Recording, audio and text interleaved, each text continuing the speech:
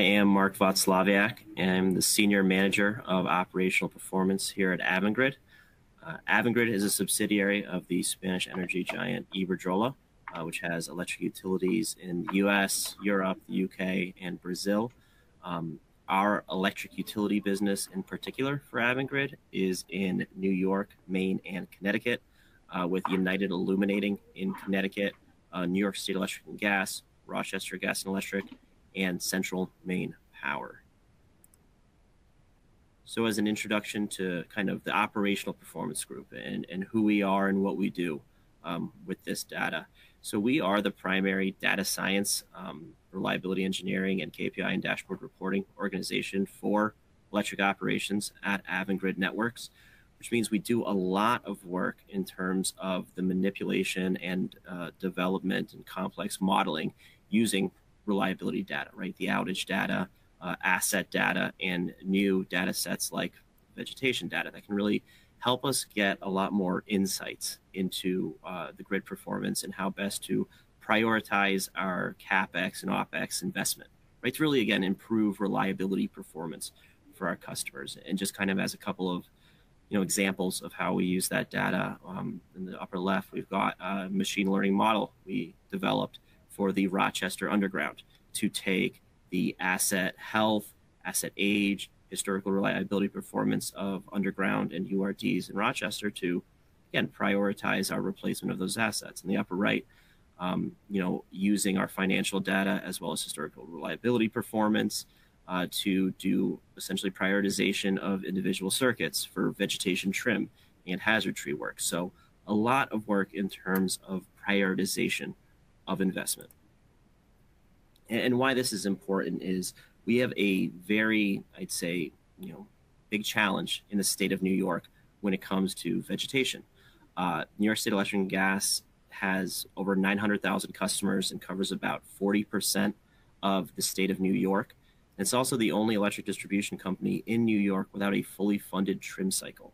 We do have one division that has um, a five year trim cycle, but there are 13 divisions. And again, over you know 30,000 miles of overhead line. So uh, we also have the highest vegetation density in the state of New York. And if you've driven around upstate New York, it is a very tree dense uh, part of the country. So really big challenge there. And when looking at the historical reliability performance of our circuits, you do see that circuits that have not been within that five year trim cycle or been trimmed within the past five years actually degrade at twice the rate of circuits that have. And so, as you can see, looking back at the past 10 years of reliability performance, we have had significant growth in terms of our safety impact due to vegetation as a result, again, of um, you know not having that formal five-year trim cycle. So, really see this as the opportunity uh, with LiveEO.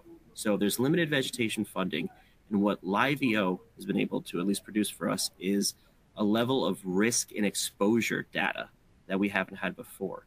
On the right is an example of our Ithaca pilot. So up in Ithaca, New York, as you can see, there's a lot of green on that map. And for our circuits, there's a lot of red.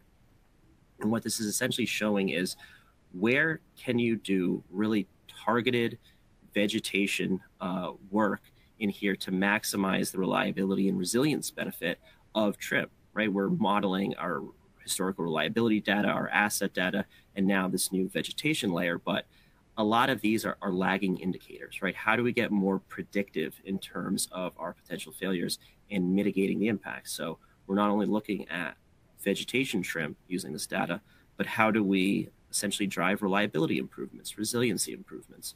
How do we focus our capex and opex investment using this new data set to really drive again benefits for the customers. That's that's really kind of our, our primary focus here in operational performance.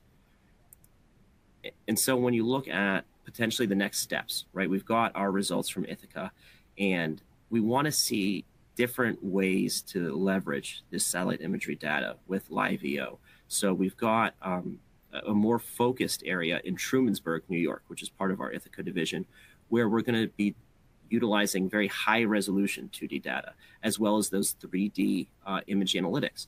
Again, to see where do we have our highest risk segments, and not just highest risk in terms of the segment, but you know highest customer exposure or potential um, you know aging assets and infrastructure where when you have tree contact you could have a cascading impact because of weak points in the grid right again really driving our uh, you know reliability and resiliency investments and not only for new york right new york has you know challenges with high vegetation density and limited tree funding but for the other electric operating companies united illuminating is a much more urban and dense environment, right? Essentially going through New Haven and Fairfield counties on the shoreline of Connecticut.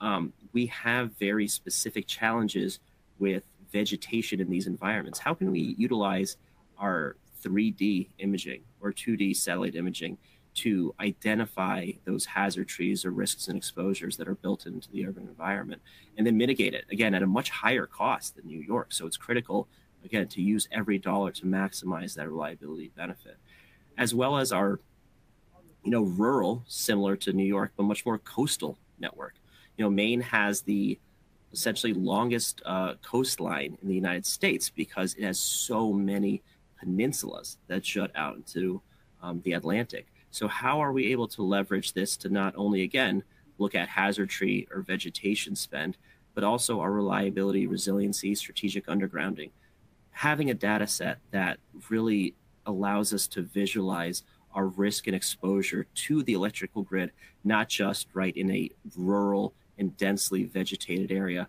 but in all of these different topographies to, again, maximize our reliability and resiliency benefit for the customers.